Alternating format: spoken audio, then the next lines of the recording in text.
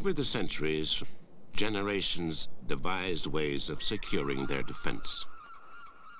Such methods were thought revolutionary and bold, and so they were. But today, we need a lot more than thick walls, lookout towers, and the lighting of bonfires.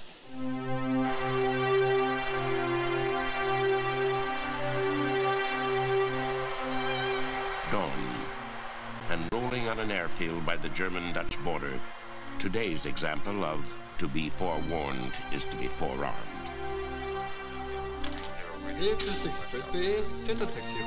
This aircraft, with its curious-looking radar on top, is called an E-3A. is cleared by ADC for an It's an airborne early warning device that has transformed the West's ability to defend itself. Heading skywards goes an airplane call signed NATO 36. It's one of many that day in, day out patrol the skies over Europe.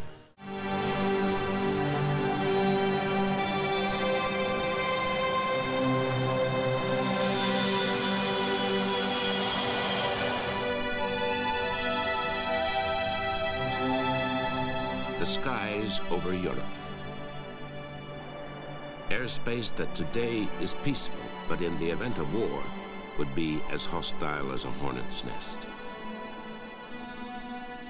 For the nations of the Western Alliance, the protection of this airspace from northern Norway to the east of Turkey is a formidable task, one that goes beyond the capabilities of individual nations. So, in the late 70s, the Alliance's member countries formed a unique unit, the NATO Airborne Early Warning Force. S04, S05, have a possible track bearing 124 for 114 nautical miles. Inside NATO 36 works a crew of 17 composed from 11 different countries. see, S04, I have uh, multiple stranger traffic. A team of highly trained men and women, whether Belgian, Italian, Greek, or Canadian, all brought together to operate and monitor the aircraft surveillance system. 10 miles, crossing left, right, flight level 310. I'm looking. Ready. Mike Lima 1-1 of Vector 020 targets a 02080 a tracking south 12,000 feet on Mach point 8. NATO 36 is a flying sensor. Housed in a 30-foot wide antenna pedestal is a narrow radar beam that revolves once every 10 seconds. And in doing so, looks down and records all movements within its scan. Ah, roger. Maintain heading at 040. He's still turning around, no sweat. Keeps turning around. Ah, roger. From altitudes around 30,000 feet, the radar can see a block of the Earth's surface over a radius of over 250 miles. The beaming radar signals transmit to the technicians inside a picture of all air movements. This information is then communicated through various data links to ground or seaborne controllers. The system heralds a new dimension in air defense, the means to see and control events in the sky as never before. And this is why it's there. In the early 70s, it was discovered that fast, stealthy fighter bombers could dodge ground-based radar.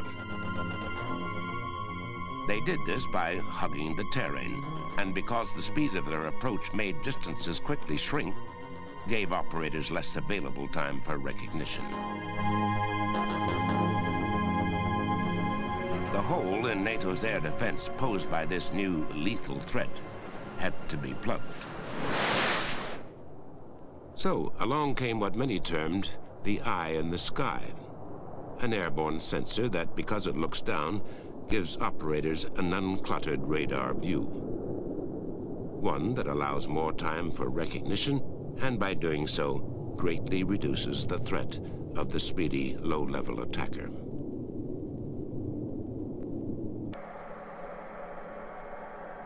For air defense, the introduction of the airborne early warning system was a giant leap forward. and one of the first things was to give it a home. In the early 80s, personnel and planes began to assemble at NATO Air Base, Geilenkirchen, Germany, near the Dutch and Belgian borders. Here works a fully integrated team of airmen, soldiers, sailors, and civilians from 13 alliance nations. All engineering, administering, and maintaining the force's ability to fly mission after mission on airborne surveillance. A unit that flies a plane under the Star of NATO, and on its tail, the Lion of Luxembourg, the Alliance's smallest member country where the aircraft are registered.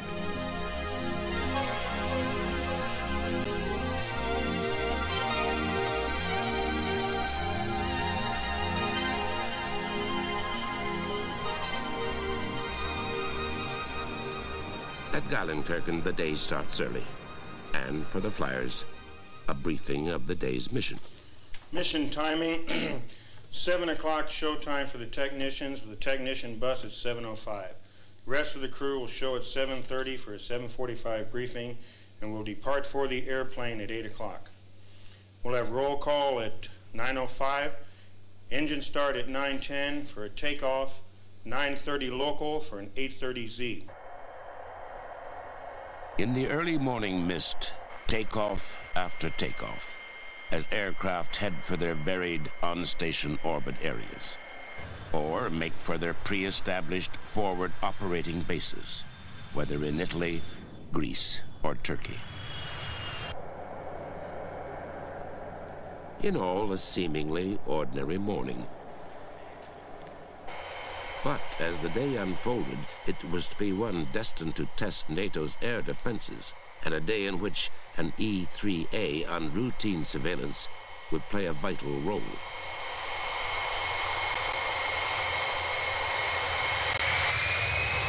Rolling for takeoff goes NATO 39, an aircraft that once on station is given the code name Magic 50. But the first stage of the action does not take place here, but hundreds of miles away by the Arctic Circle.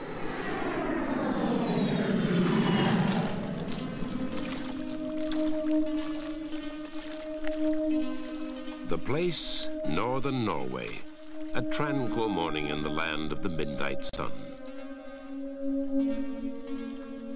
The domes on the fjord's outcrop of rock contain three radar scanners that sweep the vast Arctic expanse between Norway's North Cape and far-off Bear Island. Deep inside the rock, the ever-vigilant operations room, where round the clock sit those who watch and ward. Okay, 060, we'll give you a call established. The time is 0525 Zulu.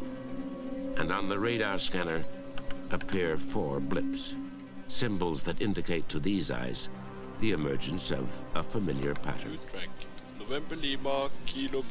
The blips represent four Soviet aircraft. Two are air refueling tankers, the other two extreme long-range bombers. And they're heading south. altitude Soon the air refueling tankers turn and head back home.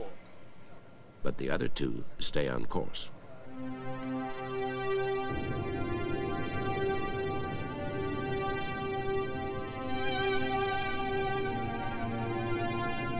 Airborne, on station in its orbit area, is Magic 50. The crew's tactical director makes contact with Norwegian ground radar. Red pipe, red pipe, this is Magic 50.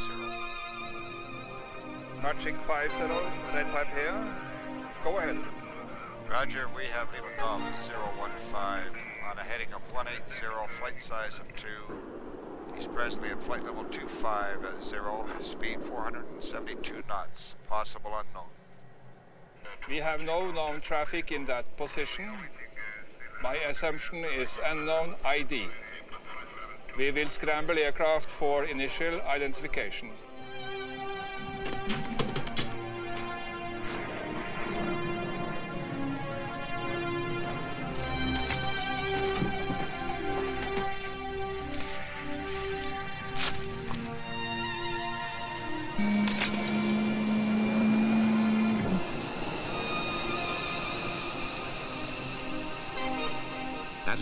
Fighter base, F-16s, one of NATO's latest interceptors, roll to what the young Norwegian pilots call a hot scramble.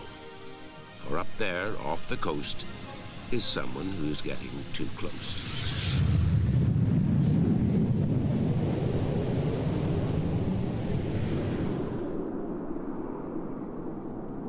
Two FA. FA2, go ahead. Okay, prepare the mission, uh, Hotel Echo 1213 for interrogation. Roger, copied all information. Standing by for fighters. Magic, magic. Hotel Echo 12's with you. Passing Angels 18 for 43. Steady 350. Hotel Echo 1-2, Magic 50, radar contact. How copy? Loud and clear. Once airborne, the F-16 pilots receive instructions on height, range, and target position from Magic 50's fighter controller. Port 340, climb Angels 4. In the clouds over the cold reaches of the Arctic Circle, the interceptors make contact. Two Bear Deltas. Roger. Door numbers? 1 2 has lead door number. 9 6. The Soviet aircraft still keep heading south and are soon in range of British radar. Roger, copy. 9687. Shadow, stand by further instructions. Roger, Red Pipe, uh, Magic 50. Be advised that the two bears appear to be heading towards the Faroes Gap at this time.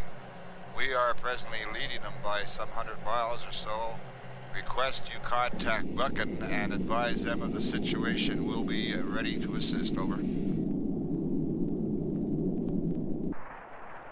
On a windy Scottish hilltop stands RAF Buchan, a coastal radar station.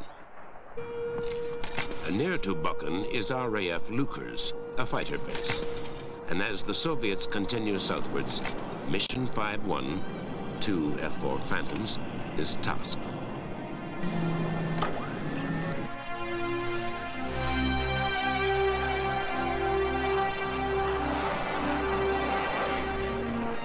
Fighters scramble to intercept off the north of Scotland, way down south off the coast of Cornwall, another mission is underway.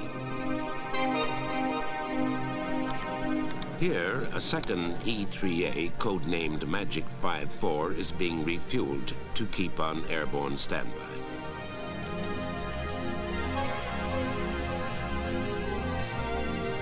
In-flight refueling means that the aircraft can be deployed where needed in only a matter of minutes. It all adds punch to the Air Defense Arm.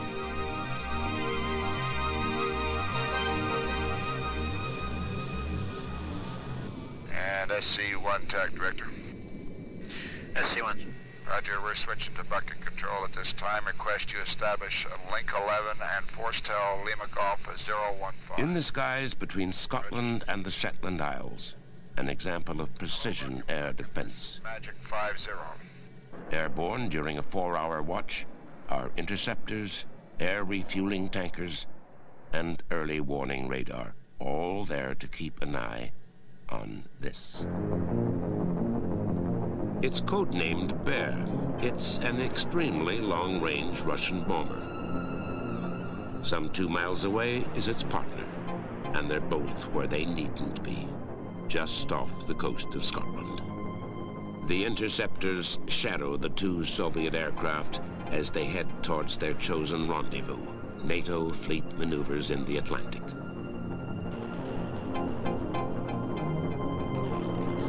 Buchan, Buchan, this is Magic 50. 50, Buchan, go. Roger, be advised, uh, fighters... But during the long flight of the two Soviet aircraft, the combined vigilance of NATO forces ensure they keep in international airspace. At sea, too, task groups all help to aid those in the air. In all, a mighty team effort and one that was not over until the two bears were far out to sea. High in the sky, the all-seeing Magic 5-0 recorded the lot. A watcher who, from northern Norway to the far reaches of the Atlantic, saw more of the game. And Buchan Magic 5-0, request permission to RTB at this time. I'll be calling off station, over. Permission granted. Have a good flight home. Roger, Magic 5-0 is off station at 1550, and I'm RTB back to home plate. Roger.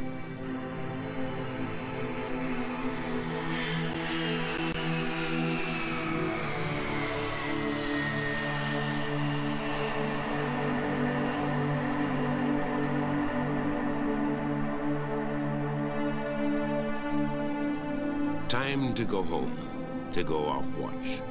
But in terms of air defense, there's no let-up. For the Soviet bombers return by the same route. Again, all down the line, alerts, scrambles, and airborne surveillance. And no one relaxed till the two Soviet bears left by the way they came. Mere specks on the Norwegian Arctic probing radar, but this time heading eastwards.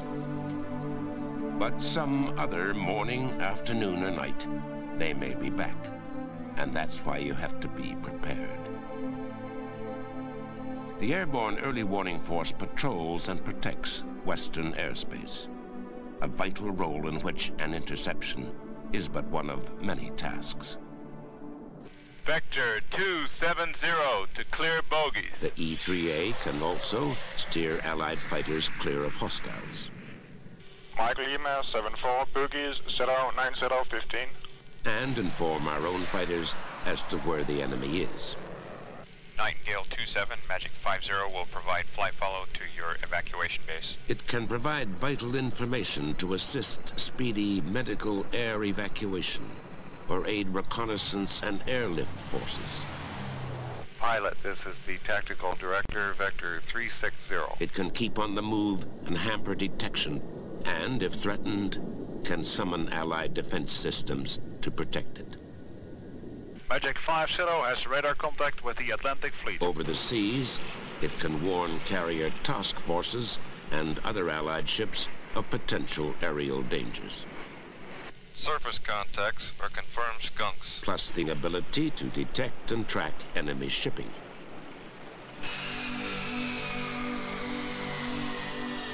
The Force provides an all-pervading watch of Western airspace from Arctic wastes to the borders of Asia.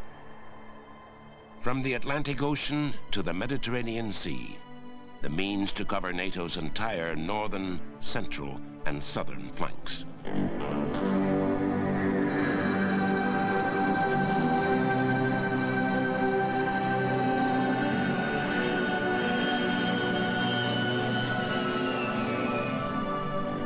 What's happening at Geilenkirchen is unparalleled.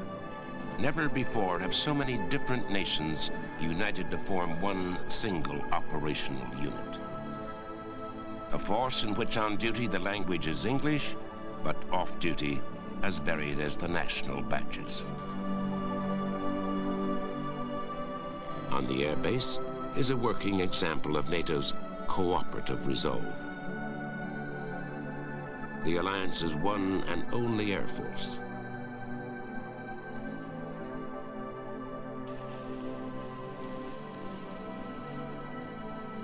Let him who desires peace prepare for war, so said a Roman senator long ago.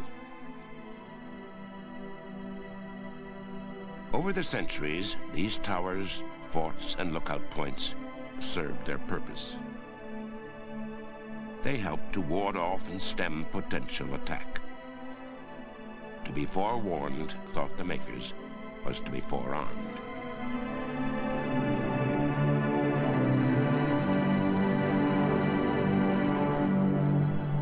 Today, high in the sky fly those with the same resolve.